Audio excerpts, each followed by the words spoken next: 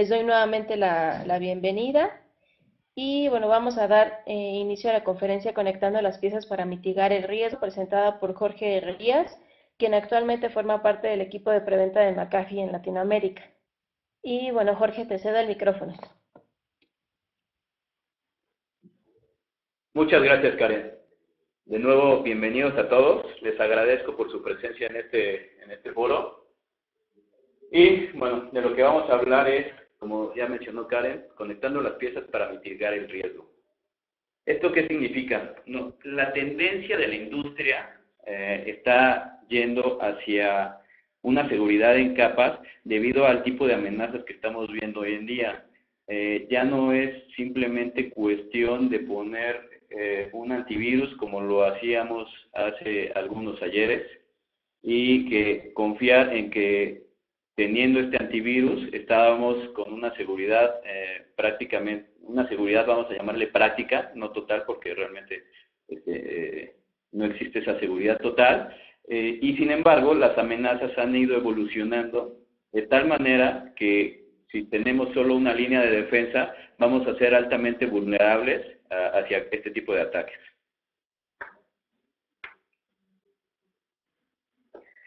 Para empezar, quiero mostrarles unas estadísticas. Esto no es con el, con el ánimo de, de espantarlos, sin embargo, sabemos que el miedo eh, eh, nos ayuda a estar preparados, ¿no? Vamos a tomar el miedo como un factor que, que, nos impulse a, a, provocar esta, esta oleada de, awareness eh, y de seguridad en nuestras empresas. Esta estadística a mí en lo personal me, me, dice mucho porque está hasta el Q1 de 2013. Sin embargo, lo más importante es eh, que la subida o el crecimiento ha sido exponencial.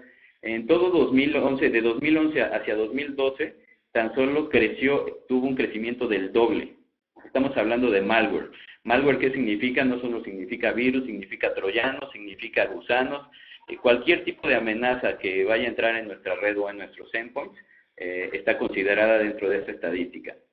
Ahora, lo más importante, de Q4 de, 2012 a Q1 de 2013, el crecimiento fue de 22% en tan solo un solo Q. Esto realmente es alarmante y esto nos dice que, obviamente ya hay intereses y las amenazas son crecientes a, tal punto que debemos estar preparados y que si no estamos preparados eh, viendo este número y este crecimiento, es altamente probable que vayamos a ser eh, vulnerables a, cualquier tipo de ataque. ¿no? Eh, esta estadística, así como les mencioné en malware, hay muchos tipos de malware. Uno que está en boga o está de moda es el ransomware. ¿Qué es el ransomware? El ransomware es donde los atacantes o quien diseña el, el malware lo que está buscando es secuestrar la información del usuario. Es decir, no la borra, sino que la pone en custodia de tal manera, puede ser por diversos métodos, uno de ellos encriptando la información, de tal manera que el, dueño de la información no tiene acceso a la misma. Eh, normalmente este recibe un correo eh, diciendo o indicando que, que su información ha sido secuestrada y que, bueno, puede hacer un depósito, por poner un ejemplo, para si es que quiere recuperar la información. A esto se le conoce como ransomware. Y fíjense ustedes el crecimiento que tuvo hacia Q2 de 2013. Realmente estamos hablando de más de 300 mil eh, muestras de ransomware. Esto es, eh, de nuevo, eh, el, objetivo es saber que existe y, prepararnos ante estas amenazas. Por último, esta es una gráfica que nos habla de, de cuáles son las muestras totales que se encuentran eh, navegando por la red, es decir, eh, lo que se conoce como samples eh, de malware total, ¿no? Estamos hablando de que ya está rebasando los 140 millones. Nosotros en McAfee tan solo vemos nuevos samples o nuevas amenazas de 100.000 nuevas amenazas al día. Esto significa que son 69 nuevas amenazas por minuto. Imagínense ustedes. Ahora, en el caso específico de México, vamos a, ver que, que eh, McAfee incluso hizo un análisis de las URLs, porque un método para entregar el malware es obviamente ya sea el spam o URLs maliciosas. Lo vamos a ver más adelante con un ejemplo. Eh, aquí lo que les quiero decir es de 1100 eh, sitios sospechosos, encontró que 800, más de 800 sitios son sospechosos. Y lo más importante aquí es que 62% de estos sitios eh, son considerados de alto riesgo. Ahora, de todos estos sitios maliciosos, el 51% contiene malware. Los otros contienen otro tipo de amenazas como phishing, spam y otros. Por último, eh, lo que vemos en el mercado mexicano es que eh, todavía el malware que, que, está más prevaleciente para descarga es un malware conocido como Sality. Sality salió desde 2003. Sin embargo, ha tenido variantes de tal manera que el malware sigue vigente. Y es por eso, nuevamente, que a pesar de que salió en 2003 y existen ya mecanismos por medio de antivirus eh, para, para lograr detener este tipo de amenazas, las variantes pudieran no ser detectadas y es por eso que se hace tan importante la seguridad en capas. Eh, de nuevo, lo mismo pasa con Configure. Eh, en la estadística dice que, que, las computadoras en México más infectadas son infectadas por este tipo de malware. Ahora, nuevamente, Conficker salió desde 2008. Conficker es un gusano de Internet. Los gusanos sirven para crear botnets para diferentes eh, objetivos, vamos a llamarlos. A pesar de eso, nuevamente, Conficker es un, es un gusano que salió ya desde hace eh, ya algunos años, ¿no? Eh, por último, y esto es como información adicional, los targets de phishing en México, sobre todo es Banamex, ¿por qué? Pues obviamente los, los atacantes son inteligentes y saben que un gran número de, personas tienen cuenta ahí, o incluso eh, del lado izquierdo lo que tenemos es el eh, donde hacia, eh, digamos, eh, viene un correo simulando que vienen de eBay o PayPal hacia sitios hosteados en México y como ya vimos que contienen malware. Ahora, vamos a ver qué es la seguridad en capas ¿Cómo es que nosotros debemos entender la seguridad en capas? Como mencioné, la industria está tendiendo hacia allá. ¿Por qué? Porque nos hemos dado cuenta que una seguridad de una sola capa o de una sola línea de defensa no siempre va a lograr detener todas las amenazas. De tal forma que una seguridad en capas nos brinde la oportunidad de detectarla en cualquiera de esas otras eh, niveles de seguridad que nosotros podemos, que podemos incorporar a nuestra, a nuestra infraestructura. Esto es cierto para empresas chicas, medianas, grandes incluso a nivel gobierno. Eh, las recomendaciones son válidas y vamos a tomarlas, si ustedes gustan, como mejores prácticas y no casados eh, de ninguna manera a alguna marca. ¿no? Vamos a tomarlo como un paradigma, como un esquema o como un approach hacia la seguridad. En este caso, la primera línea de defensa será la visibilidad y el conocimiento de nuestro entorno. Es decir, eh, por medio de, las herramientas, las herramientas deben tener visibilidad a nivel endpoint, principalmente, eh, pero eh, el tener esta visibilidad y capacidad de reacción a nivel endpoint no es todo. también hay el elemento de la red. Entonces, nosotros con herramientas que, que se han vuelto muy populares y que seguramente habrán escuchado como correlacionadores de eventos, nosotros podemos tener visibilidad a nivel ya de endpoint y correlacionar la información con la visibilidad que nosotros podemos tener a nivel de redes, es decir, la información que está viajando por el cable, por el Ethernet, propiamente. Una segunda línea de defensa, eh, eh, después de que ya tenemos la visibilidad, es tener malware. El objetivo de esta plática es malware, tener un anti-malware a nivel de red. Es decir, esto nos va a dar la ventaja de que el malware se identifique durante su viaje eh, por el cable sin que, y esto obviamente quiere decir que no ha llegado a impactar nuestros endpoints. ¿Por qué? Porque muchos de estos malware, el tipo es, una vez que llega a nuestro, a nuestro endpoint, eh, obviamente estamos eh, sujetos a la seguridad que ya tengamos incorporados ahí, que es una, una de las siguientes líneas de defensa, sin embargo, no siempre el usuario sabe ocuparlas o están mal configuradas. Es por eso que, como segunda capa de defensa, nosotros buscaríamos detectar el malware a nivel de la red. Esto se hace usando metodologías basadas, eh, normalmente, y estoy hablando de los productos en general, basadas en firmas, basadas en comportamiento, basadas en reputación también. Esto realmente ayuda. Este, muchos fabricantes tienen este tipo de metodologías y obviamente entre más grande sea el portafolio o más conectada sea la seguridad, vamos a tener eh, un mejor feedback de estos eh, sistemas de reputación. Y por último, lo que está en boga también son sistemas de sandbox. ¿Qué quiere decir esto de sandbox? Que tú puedes ejecutar eh, realmente el, malware y ver cuáles son los resultados de esa ejecución. y no estamos ejecutándolo en un sistema donde hay un usuario real, estamos ejecutando, y es por eso que se llama sandbox, en un sistema que está diseñado para eso y que está contenido de tal manera que nosotros podamos decidir si el mal, si sí efectivamente es un malware o, no, no es un malware. Muy bien. La siguiente línea de defensa, y como ya lo hemos venido hablando, es la defensa a nivel de redes. La defensa a nivel de redes es importante porque, como mencioné en, la, diapositiva pasada, pues eh, realmente estamos previniendo que, llegue directamente a nuestro endpoint. Aprovecho para indicar que es un endpoint dado que eh, a veces lo tomamos ya como muy sencillo.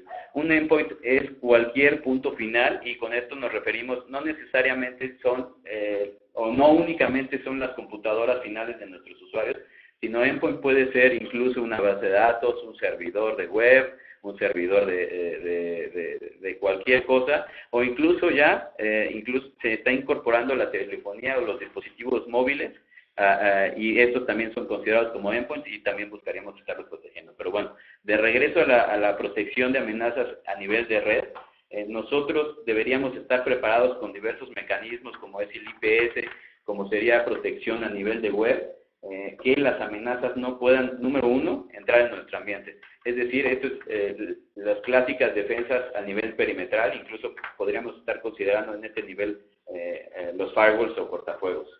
Eh, en caso de que llegue, digamos, un, correo con phishing a nuestra red, nosotros eh, con un web gateway o mecanismos de protección a nivel de web, bloquear la salida eh, de cuando un usuario le haga clic a un URL malicioso, decirle, ¿sabes qué? este URL es malicioso y bloquearlo directamente o sugerirle que no pase a ese sitio.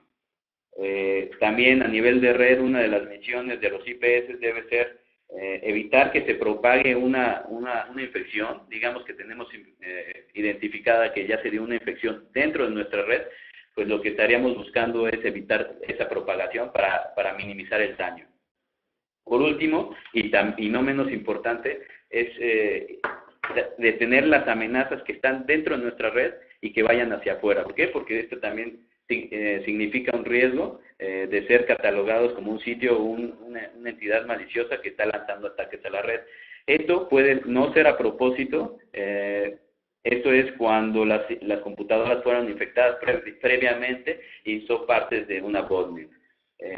un ejemplo clásico o, un ejemplo que podría llegar a pasarnos a cualquiera de nosotros es ser parte de un ataque incluso de Anonymous, en donde nosotros no nos dimos cuenta que estamos infectados y que estamos siendo parte de un ataque sin siquiera saberlo. Cuarta línea de defensa, como ya lo he mencionado, si ya pasado eh, todas las defensas anteriores que fueron normalmente a nivel de red, también tenemos que tener, y forzosamente porque hay mecanismos para evadir los eh, las capas anteriores, tenemos que tener mecanismos a este nivel, a esta capa, para proteger ya el endpoint. Ya, ya mencionamos que el endpoint puede ser cualquier eh, punto final, desde computadoras personales hasta servidores, ¿no? Y eh, en este nivel, pues obviamente está el típico antivirus, pero no se resume únicamente a eso. También hay otro tipo de, de, de, bueno, de herramientas que utilizan otros mecanismos, como puede ser este, un host IPS, que lo que busca es eh, ver eh, el comportamiento propiamente de la máquina y saber si, si, tiene algún tipo de infección.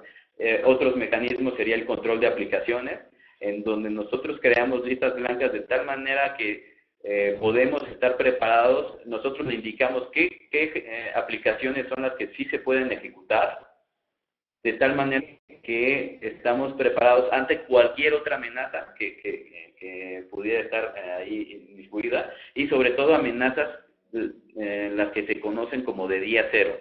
Estas son nuevas amenazas para las cuales todavía no hay un, un DAT o unas firmas que los logren identificarlas eh, efectivamente. Por último, también a nivel de endpoint tenemos, y eso lo voy a utilizar en un ejemplo posterior, tenemos reputación de URLs. De tal manera, y voy a usar el ejemplo anterior, que si un usuario hace clic en un sitio malicioso y que obviamente el usuario no sepa que es malicioso, nosotros podemos, eh, por medio de reputación de la URL, bloquear el acceso a este sitio para evitar que se descargue un malware. La es tener eh, no solo el conocimiento, sino eh, tener el conocimiento en tiempo real.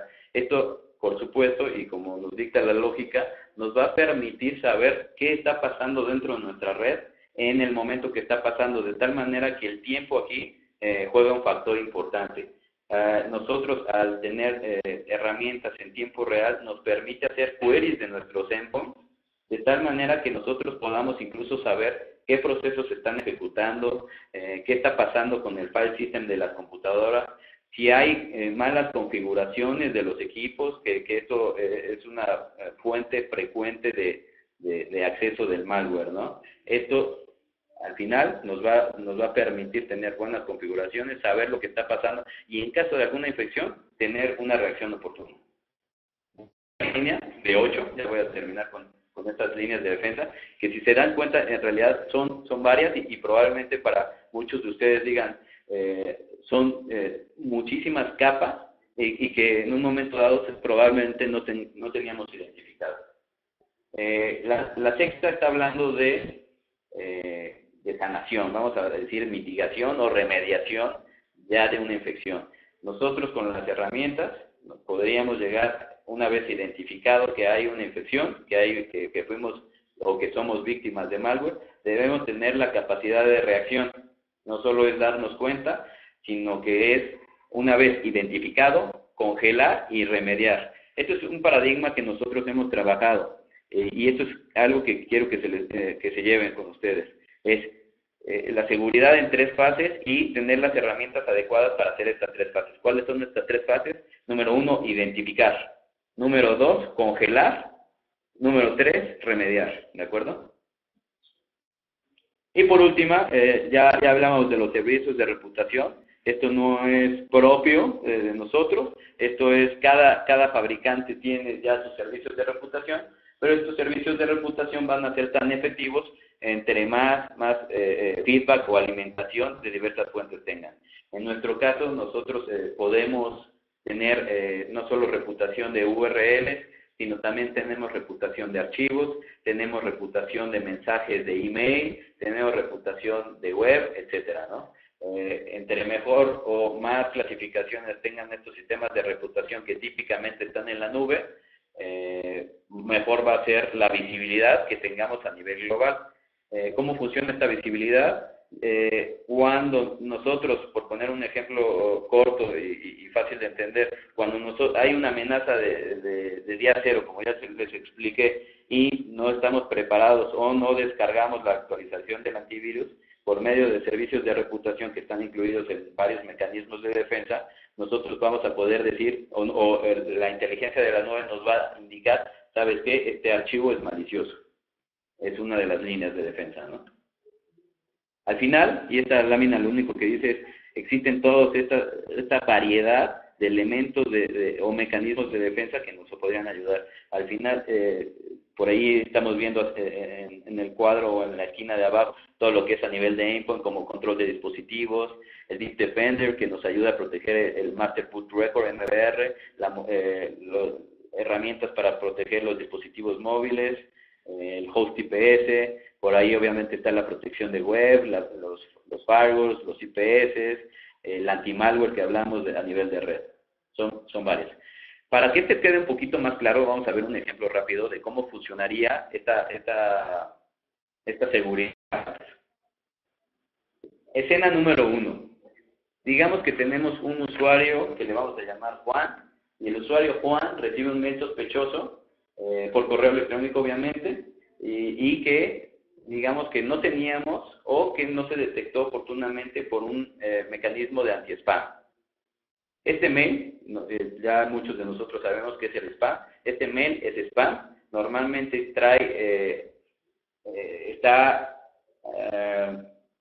imitando, está haciendo está diciendo que el mail es de parte de una entidad que nosotros consideramos confiable y normalmente traen un URL. este URL eh, obviamente es falso, este URL incluso puede ser diferente del sitio eh, a donde realmente nos está llevando esa, esa dirección eh, de web, y este sitio normalmente va a contener algún tipo de trampa en la que nos, una de dos, o nosotros podamos descargar un archivo malicioso, de tal manera que quedemos infectados por nuestra propia mano, o incluso pedirnos eh, datos importantes, ¿no? datos que nosotros, solo nosotros sabemos.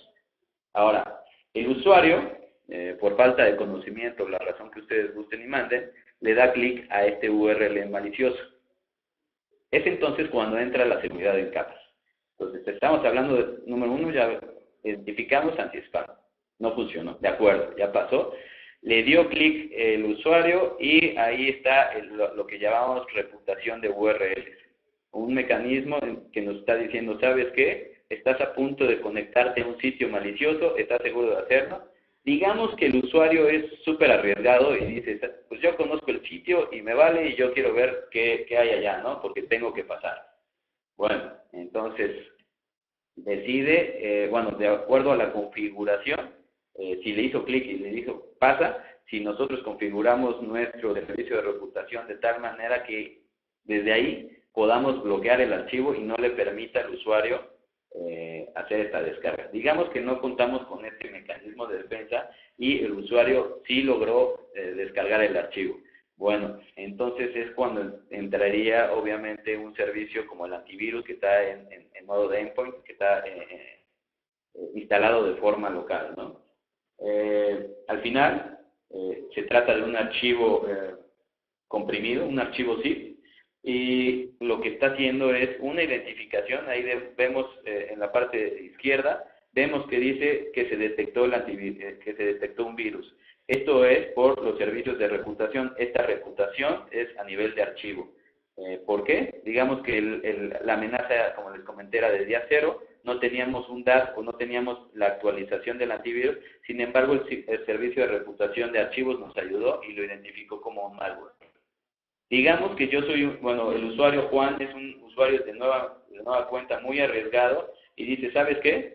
Pues sí lo quiero ejecutar, no me importa, ¿no? o simplemente pasó la información y se da cuenta que, que, el archivo eh, eh, parece ser un PDF. Muchos usuarios no se darán cuenta, pero en realidad este pudiera llegar a ser un ejecutable. Ahora, si el usuario o cualquiera de nosotros eh, decimos este ejecutable lo, lo, cargo a una página como virus total, en donde esta, esta página me, me, me puede decir cuáles son los fabricantes que sí lo detectan o no lo detectan, cuál es el radio propio de archivo, pues vamos a ver que únicamente 28 de 47, obviamente incluida eh, la marca a la que represento, sí detectan este, este, este virus.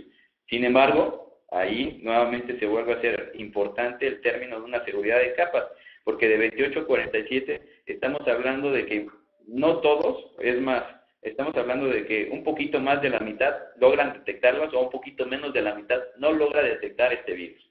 Si nosotros basáramos nuestra, nuestra infraestructura o la seguridad de nuestra infraestructura únicamente en una sola capa, obviamente estaríamos, estaríamos ya eh, siendo muy vulnerables. ¿no? Ahora, esto es lo que les mencionaba antes de terminar. Eh, en cuanto al Find, Freeze, Fix. únicamente nos falta una escena de, y esa escena es el resultado de todas aquellas capas eh, que nos van a indicar cómo es que, podemos nosotros no solo identificar, sino congelar e incluso remediar la amenaza. Eh, nosotros, eh, del lado izquierdo, tenemos los diferentes mecanismos de seguridad. Digamos que el flujo de esta lámina es de izquierda a derecha, en donde con ciertas herramientas con muchas de nuestras herramientas podemos ser identificar la amenaza. Esto es con metodologías como firmas, como reputación que ya se mencionó. En el caso de archivos tenemos incluso sandboxing que ya se los mencioné eh, y eh, eh, la parte de, un motor de modulación. Esto es a nivel de, red, obviamente. Sin embargo, pues como ya vimos, tenemos la, parte de, las amenazas, ¿no? de, la parte del endpoint. En la parte derecha tenemos arriba la parte de, de la congelar, congelar la amenaza. Entonces, aquí estamos hablando de venía, venía en la red, está, viaja el archivo, eh, lo ponemos en análisis contra todos estos mecanismos. Si aquí lo identificamos, simplemente, ¿qué decimos? No lo dejamos pasar. Si ya logró pasar el archivo porque eh, alguno de esos mecanismos no estuvo en línea o en su momento, o digamos que era una amenaza eh, nueva que no se conocía, una vez que la identifiquemos podemos hacer la congelación con herramientas como el IPS, con herramientas como gateways, etcétera. El IPS, el firewall incluso, y digamos nuevamente que volvió a pasar la remediación. Nosotros eh, con eh, mecanismos de administración y de control de endpoints, eh, que idealmente debe ser una plataforma de administración de los mismos, podemos identificar los cambios que se hayan hecho y podemos mandar ya sea actualizaciones, podemos hacerle cuarentena al host específico, y podemos incluso mandar a que se ejecute el antivirus, un full scan, de tal manera que podamos limpiar la amenaza. En el ejemplo sería, recibimos el correo electrónico, una vez que se recibe el correo electrónico se le hace clic, se hace eh, la muestra, y esto es como un resumen, se hace, pasa la reputación, incluso aquí podemos ver que eh, con una anotación de colores que que no siempre eh, la reputación nos va a ayudar. En este caso, como un sitio que estaba permitido, descomprimimos, bajamos el archivo, vemos que es un ejecutable. Vemos en este caso que dos, únicamente dos proveedores lo logran identificar de 45 proveedores que Virus Total tiene contemplados. Sin embargo, ya mecanismos como el anti-malware a nivel de red, que nosotros le llamamos Advanced Threat Defense, logramos identificar por los mecanismos que les mencioné como sandboxing, análisis de código, etcétera, que sí es un malware. Aquí incluso dice este, cuál es el comportamiento y los indicadores para que determinaron que es un malware. Incluso nos podría decir, este, este malware es, tiene un reuso de código, es decir, alguna amenaza como la que ya les mencioné con Configure, este tiene, tiene 50, 60, 70% de parecido a Configure, de tal manera que nosotros logramos identificar que sí es un, es un virus, ¿no? Al final, no se trata de más es mejor o más grande es mejor, sino que hay que utilizar los controles adecuados, pertinentes para nuestro tipo de organización. Saber contra qué nos queremos proteger y una vez que sabemos qué tipo de amenazas hay allá afuera o cuáles son las amenazas probables que me puedan eh, estar atacando a mi infraestructura, es cuando con base en eso nosotros debemos definir cuáles son de todas estas capas que he mencionado la que, la que a mí me aplica. Garnet, que es un tercero que hace eh, análisis de varias de las herramientas, ha clasificado las herramientas que se encuentran hoy en el mercado eh, eh, en tres categorías. Del lado izquierdo, en el azul un poquito más fuerte, azul oscuro vamos a llamarle, tenemos las herramientas que considera como fundamentales. Estamos hablando de protección a nivel de endpoint, eh, recuerden, a nivel de endpoint tenemos varios mecanismos que, que van desde el antivirus hasta control de aplicaciones, lo que se conoce como host IPS, etcétera. Pero eh, también, eh, como fundamental, hace una categoría de Web Gateway, que es Web Gateway, todos aquellos mecanismos que nos ayuden a proteger el tráfico de web, el tráfico que va directamente hacia Internet, tenemos eh, la segmentación de redes y por supuesto algo, eh, un, un, infaltable, vamos a llamarle, tenemos los firewalls y los IPS. Una categoría es la tecnología avanzada. ¿Qué significa la tecnología avanzada? Eh, es tecnología con la que nosotros idealmente, y, sin olvidar, de acuerdo a nuestro giro o tipo de infraestructura y negocio, es, es infraestructura con la que nosotros deberíamos contar algo, algo importante aquí, por ejemplo, podría ser si nosotros estamos eh, sujetos o aplica la ley de protección de datos personales, pues tal vez deberíamos estar eh, eh, ya considerando este tipo de, de, de, categorías. Estamos hablando de, de, NAC, que son los controles de acceso, la seguridad de dispositivos móviles, esto es cuando nosotros tenemos eh, los dispositivos y nosotros queremos darle a nuestros usuarios acceso a nuestro, a nuestro sistema. Por ejemplo, un ejemplo típico, ya quien no ve eh, el correo electrónico desde su teléfono, el correo electrónico desde la empresa, Obviamente esto representa riesgos porque pues se pierde el dispositivo, nos lo roban y si no tienen los controles adecuados, pues obviamente eh, eh, la persona que se lo encuentre slash robe va a tener acceso a esta información. La parte de control de aplicaciones, ya sea con listas blancas, listas negras, la parte de SIEM, que son las correlacionadores, la parte de firewalls de siguiente generación, que ya tienen otras capacidades como inspección hasta capa 7, ¿qué quiere decir capa 7? Eh, no solo a nivel de red, sino que ya va más allá y puede ver usuarios, puede ver eh, aplicaciones, etcétera. Por último y tercera categoría son los, los Lean Forward, que, le llama, que son eh, tecnologías de avanzada, en donde ya incluimos sistemas como DLP, aquí aplica total, eh, DLP es Data Loss Prevention, prevención de fuga de información. esta prevención de fuga de información puede ser a nivel de host, puede ser a nivel de, redes también, y esto es precisamente lo que aplicaría ya, eh, como les comenté, para la ley de protección de datos personales. Si se fijan por ahí, también tenemos forense, tenemos la parte de sandboxing, que es un, término en boga, eh, que a nosotros nos ayuda a detener sobre todo el malware a nivel de, eh, de red. Por último, ¿cómo se vería esto ya en las herramientas propiamente? tenemos la parte de reputación y eh, tenemos la clasificación con base en la reputación, van llegando eventos de izquierda a derecha hacia este flujo, de tal manera que eh, algunas herramientas utilizando GTI y la, propia correlación a nivel de red y a nivel de endpoint, podremos determinar si, una, eh, si un evento es bueno, es sospechoso, sospechoso no quiere decir necesariamente malo o un evento malo. ¿Cómo sería esto en las herramientas? Pues un correlacionador de eventos normalmente nos daría esta información esta información parece ser mucha, pero pues simplemente tenemos los eventos correlacionados, cuál sería la severidad, las IPs, quién se está comunicando con quién. Aquí podemos incluso nosotros priorizar por tipo. Y en el caso de la reputación, en el caso del ejemplo específico que quiero tratar, estamos hablando de reputación de URLs o reputación de DNS.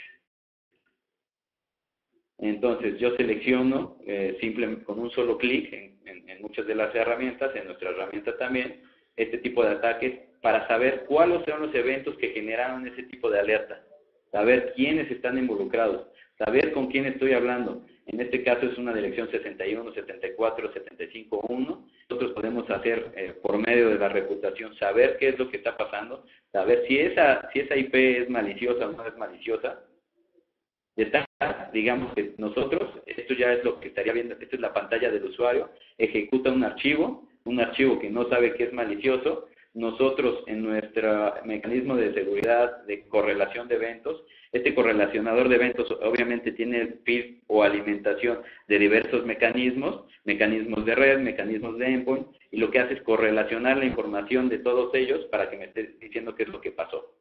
Ahora, eh, nosotros aquí en esta, en, esta, en esta pantalla vemos que el usuario le hizo clic y que el usuario va a tener una comunicación de red hacia una entidad maliciosa, hacia una URL. Entonces, lo que estamos viendo aquí en el paso 1 es que se está conectando a un www.killerbean.com. Ustedes dirán, ¿cómo es posible que no se dé cuenta el usuario? Pues es, muchas veces corren en background eh, estos procesos de tal manera que el usuario a veces ni siquiera eh, eh, está percatado de esta comunicación. Si se fijan aquí, eh, incluso nosotros tenemos un pico, una barra de, comunicaciones que están diciendo eh, cuáles son eh, la definición de, eventos, ¿no? El destino de los eventos. Entonces, realmente ese pico a nosotros nos debería llamar la atención, sobre todo a, todos aquellos que somos operativos, ¿no? Que estamos viendo el, día a día de la seguridad.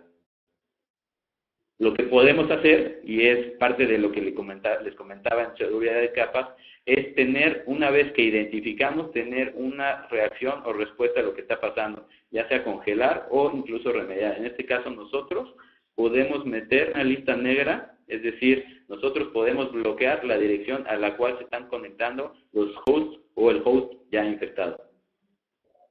Aquí, eh, una vez que le digo que va a entrar a la lista negra, lo que va a hacer es una reconfiguración de nuestro IPS. En este caso, esta pantallita nos dice cuáles son los, IPS que tienen el sitio. Si tuviéramos más de un IPS o un firewall, nosotros veríamos aquí listado todo. En este caso, le voy a hacer, eh, lo voy a meter a una lista negra dentro del IPS que se llama STO 1450.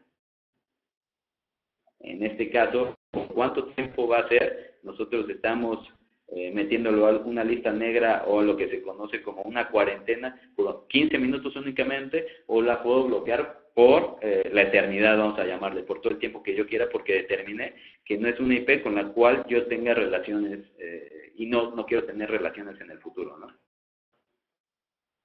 se mete a la lista negra y qué es lo que veríamos en nuestra pantalla de administración del IPS, cómo ya efectivamente sin tener que, tener eh, las dos consolas abiertas, a partir de un correlacionador de eventos puedo hacer cambios en otros mecanismos de seguridad. También, eh, eh, por último, eso fue la identificación. paso número dos fue la parte de congelar la escena. Congelamos cómo? Haciendo una cuarentena de host evitando la propagación y por último viene la remediación. Este mismo es un correlacionador de eventos sin tener que tener abierta una plataforma de administración de endpoints, yo podría llegar a, correr o mandar ejecutar tareas dentro del endpoint para eh, ya sea subsanar la, amenaza eh, que, haya sido o incluso cambiar las políticas de configuración.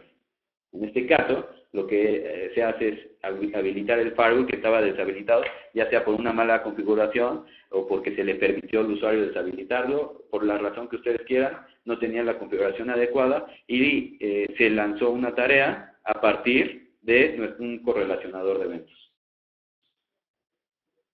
Incluso se mandó a ejecutar la tarea de hacer un full scan completo, un full scan fuerte, para eh, hacer ya la limpieza de la infección. Incluso eh, desde el mismo correlacionador de eventos que tradicionalmente llamamos 100, eh, nosotros podemos ver que los archivos infectados o que el host infectado ya fue, ya fue eh, limpiado. Muy bien. Les agradezco mucho por, su escucha. Espero no haber sido, espero haber sido claro en los términos y doy paso a la al, tiempo de, o a la sesión de preguntas y respuestas. Yo estaré leyendo las preguntas a través del chat.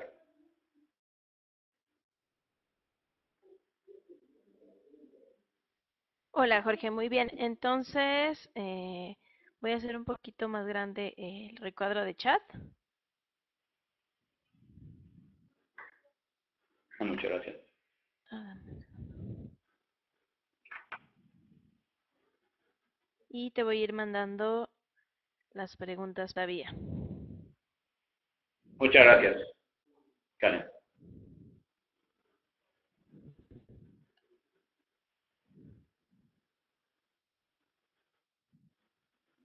Ya está la primera pregunta. Bueno, la primera pregunta que, tengo aquí es eh, de Carlos Villavicencio.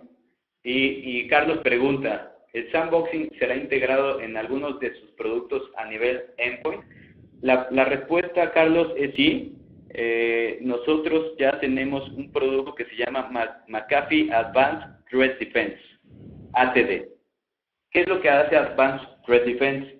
Lo que hace eh, es tener, es un anti-malware que se comentó por ahí, un anti-malware a nivel de red, de tal manera que se integra con mecanismos eh, de análisis de tráfico de red como el IPS y, o el Web Gateway, vamos a poner por ejemplo, ¿no? Una vez que estos mecanismos eh, tienen o está pasando por el tráfico un archivo, lo que hace que si nosotros, de acuerdo a la configuración indicada, lo mandamos a una caja de propósito específico anti-malware. Esta caja tiene varios mecanismos integrados. Uno de ellos es el sandboxing. Nuestra ventaja y nuestro producto es que nosotros podemos eh, en este sandboxing poner máquinas virtuales que son exactamente iguales a las máquinas que estás ejecutando tu infraestructura. ¿Qué, quieres, qué quiero decir con esto? Si tú tienes dentro de tu empresa únicamente Windows 7 o tienes una combinación de Windows XP con Service Pack 3 y Windows 7 con Service Pack 1, tú puedes cargar este, este tipo de imágenes que son normalmente empresariales, las subes a esta caja de propósito específico que se llama ATD y puedes ejecutar tú el malware ya directamente como si estuvieras ejecutando en tu host, de tal manera que tú ves si, si el malware o si el archivo sospechoso si va a infectar tu máquina y si sí va a infectar tu máquina, incluso puedes ver cómo es que la va a infectar. ¿Qué quiero decir? Eh, ¿Cómo es que la va a infectar? Puedes ver si cambió algún registro, si borró algo, puedes ver realmente cuáles fueron las reacciones eh, eh, que se ejecutaron y que derivaron de este malware. Ok, perfecto. Sí, no, pues, Sí, por favor.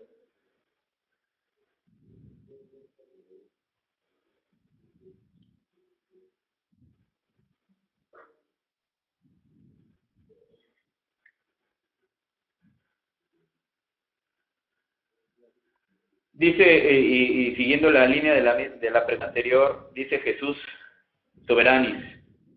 Y para complementar todo esto, un honeypot, pues mira, eh, para todos, eh, los demás compañeros, un honeypot es una red eh, o un sistema donde nosotros incluso dejamos pasar a, los atacantes, ya sea, puede ser con los diferentes mecanismos de ataque, vamos a llamarle que también hay muchos, puede entrar a un sistema que, que propiamente y por definición, y no quiero confundirlos, puede ser una caja de arena, es decir, es un sistema que no es nuestro sistema en producción, que está diseñado para eh, eh, que el atacante se confunda, puede, esté atacando algo que no es nuestro sistema, o incluso nosotros para capturar conocimiento de, cuáles son las técnicas que utilizan los atacantes, ya sea eh, para poder prevenirnos mejor, ¿no?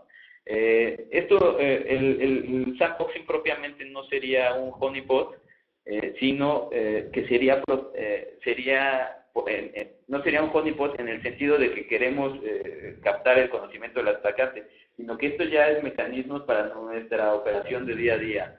Eh, de tal manera que el anti-malware, nuestra caja de ATD, lo que va a hacer es la ejecución, como expliqué, directamente en un ambiente restringido, sí, pero no para no, no con el objetivo del honeypot, sino para nosotros determinar si, si el archivo sospechoso es malware o no es malware.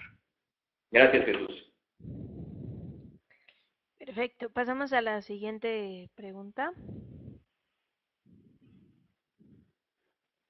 Sí, por favor, Karen. Listo, ya está ahí en el chat. Muchas gracias. Dice Obedisai, el, el ransomware y el hijacker es lo mismo entonces. Eh, en realidad, eh, podría considerarse lo mismo. Eh, al final, las líneas entre malware a veces ya no están tan bien definidas. Recordemos el, ransomware, como lo, comentamos, significa eh, ya estar propiamente eh, secuestrando la información del usuario. Este secuestro viene este, después de eh, este secuestro normalmente tiene fines económicos, ¿no? Ok, pasamos a la siguiente.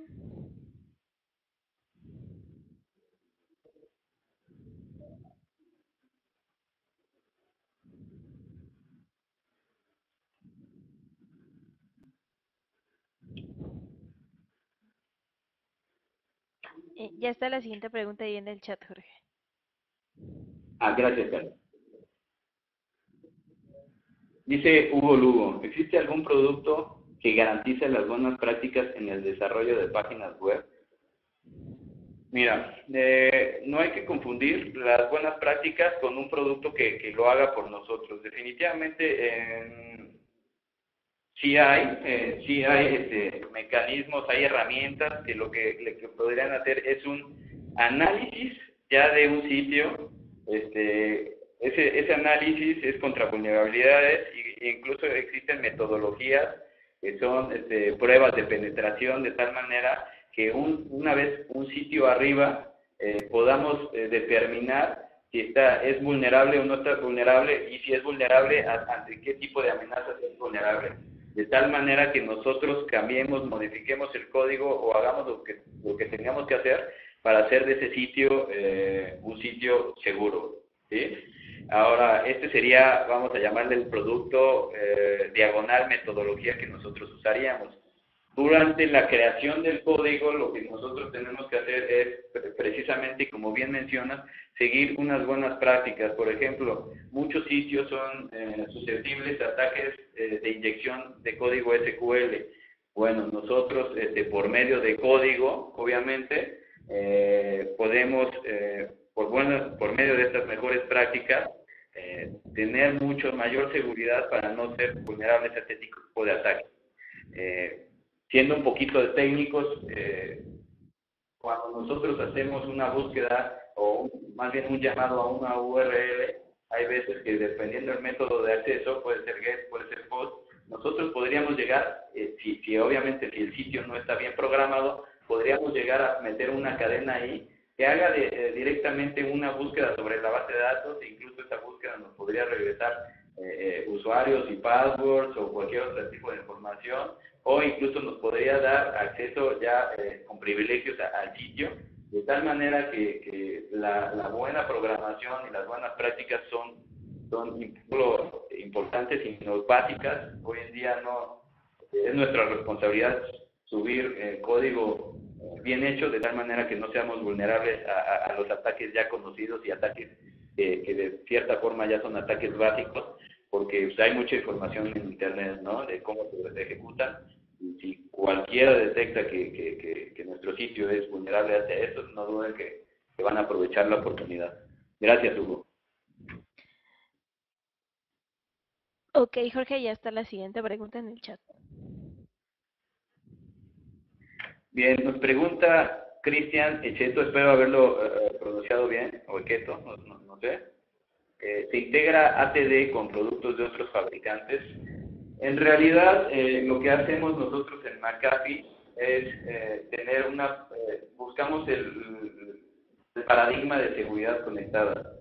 si bien en algunos productos podemos interactuar con otros fabricantes, muchos otros, incluso tenemos una asociación en donde cualquier fabricante de seguridad puede integrarse a nuestras herramientas de administración y monitoreo de la seguridad como es EPO ya, ya, ya, y Policy Orchestrator ya conocida.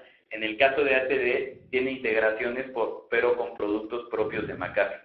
Esos productos es, como mencioné, el IPS y el Web Gateway al día de hoy.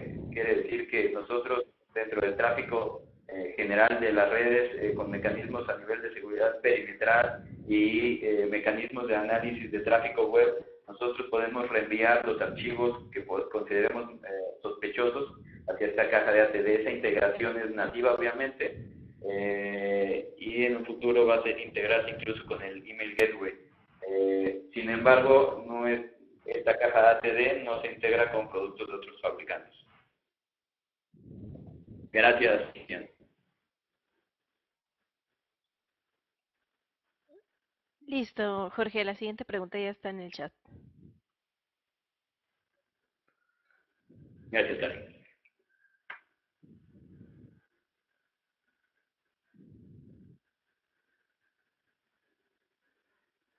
Ok, dice Luis López, ha tocado muchas infecciones que llegan por medio de correos que se envían desde, desde los smartphones vía webmail. ¿Tienen? y la pregunta específica es, tienen una solución que no afecte mucho el rendimiento del smartphone.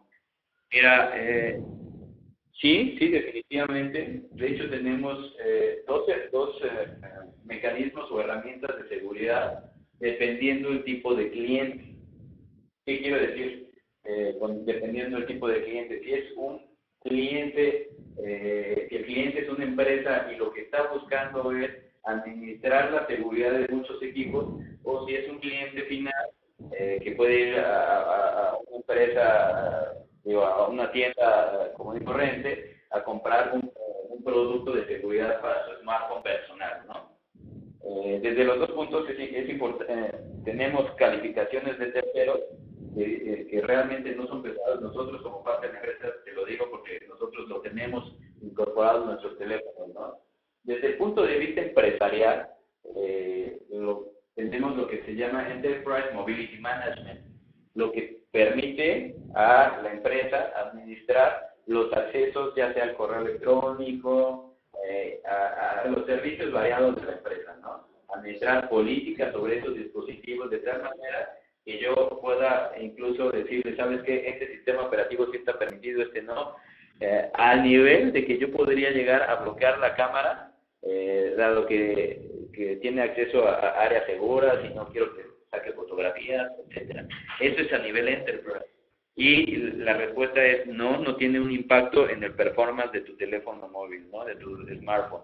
Desde el punto de vista de usuario, usuario final, tenemos una, una, unos productos que se llama All Access, de tal manera que, la persona que compre estos productos eh, no solo tiene protección para su teléfono, sino que tiene una plataforma ya de administración en donde al final estamos unificando toda la seguridad, es decir, a nivel endpoint.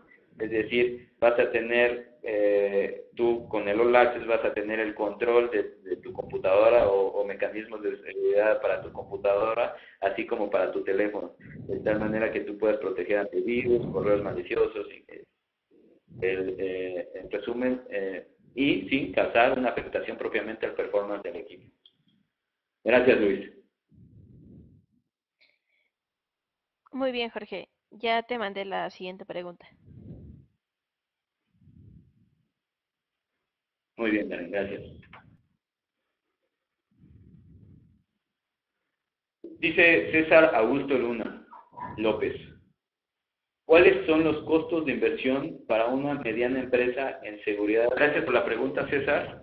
A mí eh, me gustaría, y sin ánimo de, en ningún momento de dar vuelta a, la pregunta, es, eh, siempre tenemos que saber cuáles son eh, las amenazas que están ahí eh, de tal manera, o, y bueno, obviamente con el conocimiento previo de nuestra infraestructura, para saber cuáles son eh, los mecanismos que aplican para nosotros.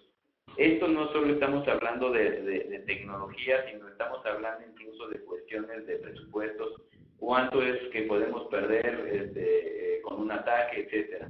Esa, de hecho, es una fórmula que se tiene que se llama el, eh, el TCO, ¿no? que es eh, el costo de, implementar propiamente la seguridad, el costo del ownership. Entonces, eh, con base en eso, realmente tú podrías llegar a decidir, o cualquier empresa va a llegar a decidir cuál es el presupuesto que tiene asignado para seguridad. Típicamente el presupuesto que se tiene asignado para seguridad, incluso aquí en México, estamos hablando que es del 5% del total que se dedica a TI. Eh, con esta matemática sí te serviría para saber realmente si, si una TD es una solución eh, que le va a convenir a tu empresa y si es que es necesaria. Ahora, todo esto te lo comento porque el ATD no es la única forma de parar el anti-malware. Recordemos lo que se vio en la plática, la seguridad se da en capas, de tal manera que, que mecanismos como el IPS tienen, eh, tienen formas de detectar malware a cierto nivel. El ATD sería para un análisis a muy bajo nivel en donde hacemos incluso el análisis del código, es decir, el código se, se decompila y se analiza eh, de tal manera que, que, tienes un mini laboratorio automático eh, contra las amenazas, ¿no? Entonces, habría que ver cuál es la situación específica de, la empresa donde labora César eh, para determinar si ATD es la solución que, encaja perfectamente en tu infraestructura. Gracias. Eh, muy bien, Jorge. Eh, ya te mandé también la siguiente pregunta.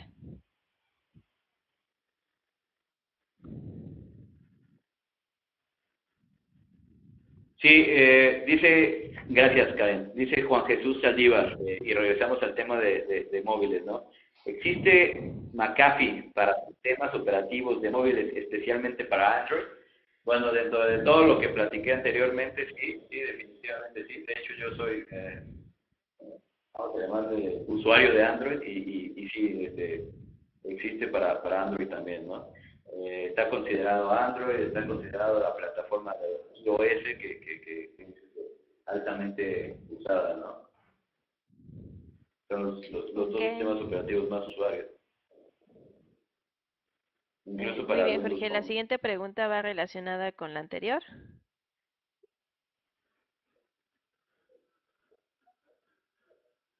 Sí, eh, dice Luis Gerardo Borja Sánchez, si, existe una protección en los smartphones, ¿es posible la administración de esa herramienta remotamente?